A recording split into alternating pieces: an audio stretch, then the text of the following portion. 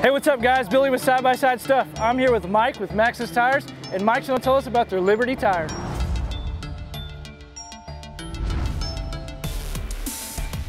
Hey guys, good to see you. Now this is the, uh, the Maxxis Liberty. Uh, the reason we want to kind of feature this tire here in Arizona, a lot of your trail systems here, you've got pavement to get to trail systems. And the unique thing about this tire is the tread pattern. You can see it's most like a truck tire, so you got kind of a closer tread pattern.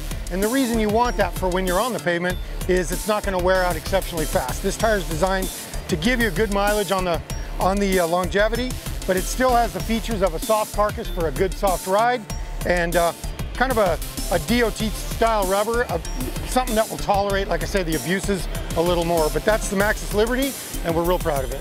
All right, thanks Mike.